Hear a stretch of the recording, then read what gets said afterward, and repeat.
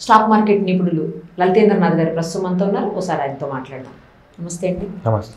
లలిత్ గారు ఒక విషయం చెప్పండి. ఇప్పుడు ఇన్వెస్ట్మెంట్లు అందరూ చేసుకుంటుంటారు. రకరకాలుగా వాళ్ళకు వచ్చే ఇన్కమ్ను బట్టి ఇన్వెస్ట్ చేసుకుంటుంటారు. కొంతమంది ల్యాండ్స్ మీద ఇన్వెస్ట్ చేస్తారు. కొంతమంది హౌసెస్ కన్స్ట్రక్షన్స్ ఇలాంటి వాటి మీద కొంతమంది రకరకాలుగా ఇన్వెస్ట్ చేసుకుంటుంటారు. గోల్డ్ మీద ఇన్వెస్ట్ చేస్తూ ఉంటారు. కొంతమంది వచ్చేసి స్టాక్ మార్కెట్లో కూడా ఇన్వెస్ట్ చేస్తూ ఉంటారు. అయితే ఒక పదివేల రూపాయలు నెలకి సంపాదించేవాళ్ళు లేదా ఒక ఇరవై వేలు తక్కువ శాలరీ ఉన్నవాళ్ళు ఇన్వెస్ట్ చేసుకోవాలి అంటే బెస్ట్ ఇన్వెస్ట్మెంట్ ఏది మీరు చెప్పండి? ఏదైనా సరే ఇన్వెస్ట్మెంట్ చేసుకోవాలి అంటే ఫస్ట్ స్టాక్ మార్కెట్లోకి రావాలి అంటేనే ఒక అవగాహన ఉండాలండి.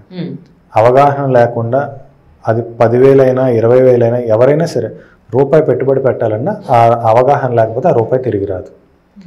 కాబట్టి మన ఫినాన్షియల్ స్టేటస్ ఎలా ఉన్నప్పటికీ మనకి మార్కెట్ పట్ల అవగాహన ఏర్పరచుకున్న తర్వాత మాత్రమే మనం మార్కెట్లోకి రావాలి. ఈ అవగాహన ఏర్ ఏర్పరచుకోవడానికి మనం కొద్దిగా రోజుకి ఒక హాఫ్ అన్ అవర్ అన్న బిజినెస్ కాలము.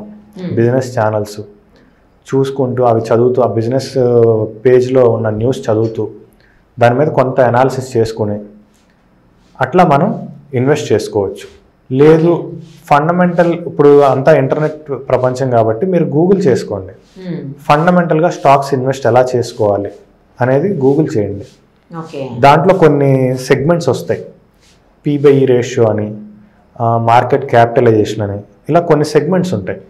వాటిని ఆధారంగా అసలు మళ్ళీ నెక్స్ట్ ఆ సెగ్మెంట్ అంటే ఏంటి? అంటే పీబైఈ రేషియో అంటే ఏంటి? మార్కెట్ క్యాపిటలైజేషన్ అంటే ఏంటి? క్వార్టర్లీ రిపోర్ట్ అంటే ఏంటి? ఆ రిపోర్ట్లో దేన్ని పరిగణలోకి తీసుకుంటారు? కేవలం లాభం వచ్చినంత మాత్రాన దాన్ని పరిగణలోకి తీసుకోరండి. వాళ్ళ పెట్టుబడి ఎంత? పెట్టుబడి ఎంతవరకు పెంచుకుంటూ వస్తున్నారు? ఇంకా పెట్టుబడులు పెడతారా? ఇలా డిఫరెంట్ డిఫరెంట్ కాన్సెప్ట్స్ ఉంటాయి దాంట్లో. ఓకే. అవన్నీ ఫండమెంటల్గా మనం చదువుకుని అంటే వాటి గురించి అనా అనాలిసిస్ చేసుకొని దాని తర్వాత మాత్రమే ఒక కంపెనీలో మనం ఇన్వెస్ట్ చేయాలి. అది పెద్దవాళ్ళైనా సరే చిన్నవాళ్ళైనా సరే. చాలామంది ఈ మధ్యకాలంలో రాకేష్ జుంజన్వాలా గారు అందులో ఇన్వెస్ట్ చేశారు. లేదంటే ఇంకొకళ్ళు ఇందులో ఇన్వెస్ట్ చేశారు అని చెప్పి చెప్తూ ఉంటారు. రాకేష్ జుంజన్వాలా గారు కొన్ని వేల కోట్లు ఉంటాయి ఆయన దగ్గర. లేదా లక్ష కోట్లు కూడా ఉండొచ్చు. ఆయన ఫినాన్షియల్ స్టేటస్ వేరే. మన ఫినాన్షియల్ స్టేటస్ వేరే.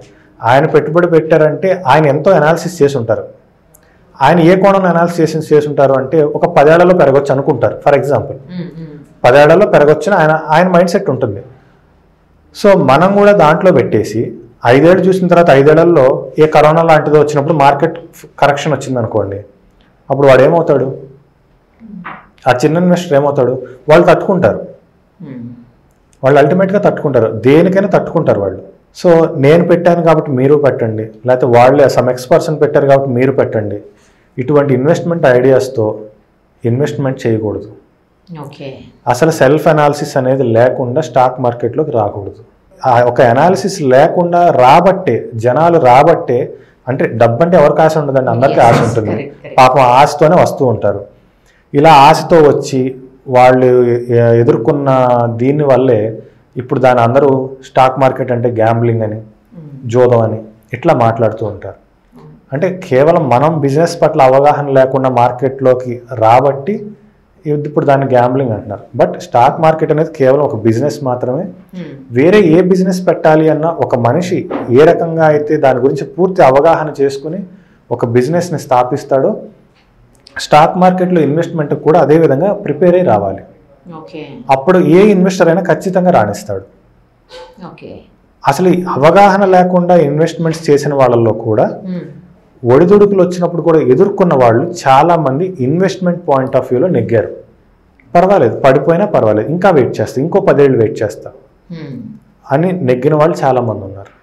ఇన్వెస్టర్స్ నష్టపోయే శాతం తక్కువ మార్కెట్లో కానీ తక్కువ శాలరీస్ ఉన్న వాళ్ళు కొంతమంది చెప్తా ఉంటారండి. మీరు మ్యూచువల్ ఫండ్స్లో పెట్టుకోండి మ్యూచువల్ ఫండ్స్లో పెట్టుకుంటే చాలా ర్యాపిడ్ గ్రోత్ ఉంటుంది బాగా పెరుగుతుంది తొందరగా తీసుకోవచ్చు అమౌంట్ కూడా ఎక్కువ రోజులు వెయిట్ చేయాల్సిన అవసరం కూడా ఉండదు. ఎప్పుడంటే అప్పుడు మనం తీసేసుకోవచ్చు పెద్ద అమౌంట్లు తీసుకోవచ్చు అని చెప్తా ఉంటారు. అది నిజమేనండి? మ్యూచువల్ ఫండ్స్ అంటే ఇప్పుడు జనరల్గా సిప్ అనే పదం ఎక్కువ వినపడుతుంది SIP S SIP systematic investment plan so దాంట్లో ఎలా ఇన్వెస్ట్ చేస్తారు అంటే నెల నెల ఒక వెయ్యి రూపాయలు ఒక ఐదు వందలు వాళ్ళ తగ్గట్టు ఫైనాన్షియల్ స్టేటస్ తగ్గట్టుగా చేసుకుంటూ వెళ్తారు. దీని మీద ఒక చిన్న ఉదాహరణ ఇస్తానండి. కరోనా పాండమిక్ టైంలో ఎస్బీఐ అనే షేరు దాదాపు మూడు వందల డెబ్బై నాలుగు రూపాయల నుంచి నూట నలభై ఏడు రూపాయలకు వచ్చింది. పడిపోయింది. పడిపోయింది.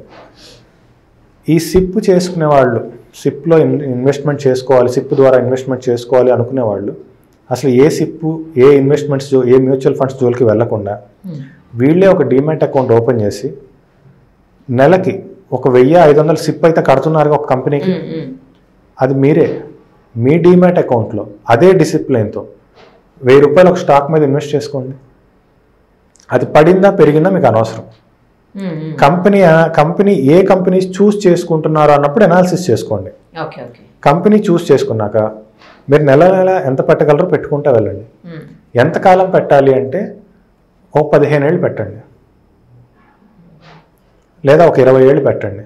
రెండేళ్ళలో మూడేళ్ళలో కోటీశ్వర్లు అవ్వాలంటే అదృష్టం ఉంటే అవుతారు. రీసెంట్గా Adani group of industries Adani enterprises అనే షేరు. ఆల్మోస్ట్ బిలో వన్ ఇయర్లోనే నూట ముప్పై రూపాయల నుంచి పదిహేడు వందలకు వచ్చింది. అబ్బా!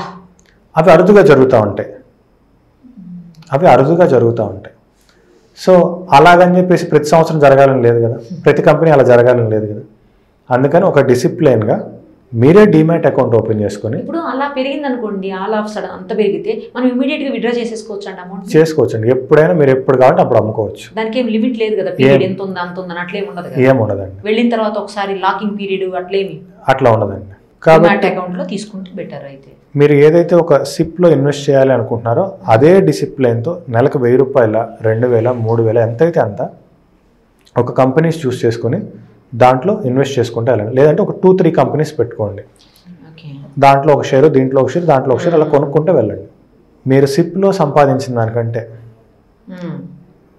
వరస్ట్ కేసులో వరస్ట్ కేసులో సిప్లో సంపాదించిన దానికంటే టెన్ టైమ్స్ ఎక్కువ సంపాదిస్తారు. బెస్ట్ కేసులో హండ్రెడ్ టైమ్స్ సంపాదిస్తారు. సిప్ ఈజ్ నథింగ్ బట్ మీ డబ్బులతో నేను వ్యాపారం చేయటం. మ్మ్.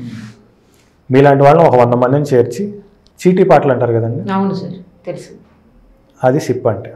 కాబట్టి మీ అనాలిసిస్తో మీరు చేసుకుంటే ఎక్కువ లాభాలు సంపాదిస్తారు. కానీ చేత కావాలి కదా అందరికీ తెలియాలి ఎట్లా పెట్టాలి ఇన్వెస్ట్మెంట్ స్టాక్ మార్కెట్కి ఎలా వెళ్ళాలి అంత తెలియాలి కదా ఫస్ట్ అది కూడా తెలియదు తెలియని వాళ్ళు ఉంటారు ఇన్వెస్ట్ చేయాలనుకుంటారు. డబ్బు మీద ఆశ ఎవరికి ఉండదండి.